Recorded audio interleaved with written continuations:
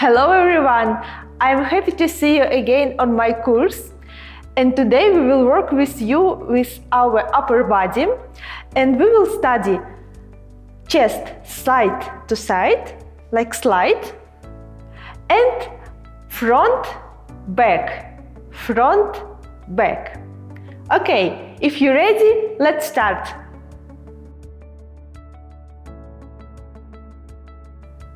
Now we start with chest slide. This movement look like this. One, two, one, two, one, two, one, two. Okay, let's start step by step. Firstly, we need to isolate our hips.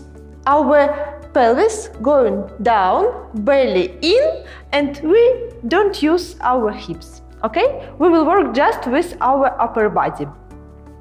And now our shoulder going down, chest a little bit out, uh, up, arms in second position, and we start just slowly. Side,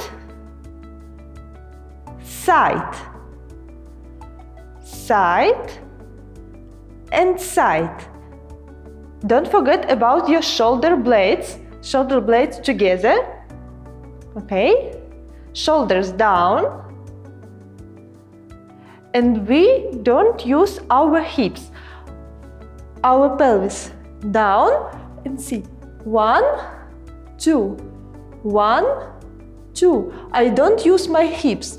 I work just with my upper body. One two three four.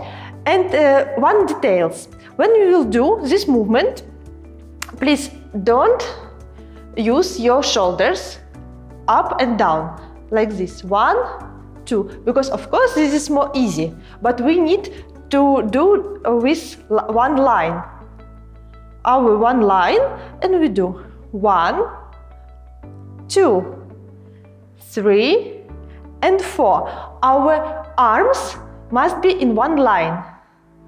One two three, four. One, two, three, four. Continue without arms, just chest. One, two, lines, line. One, one line, second line. Okay, one, two, one, two,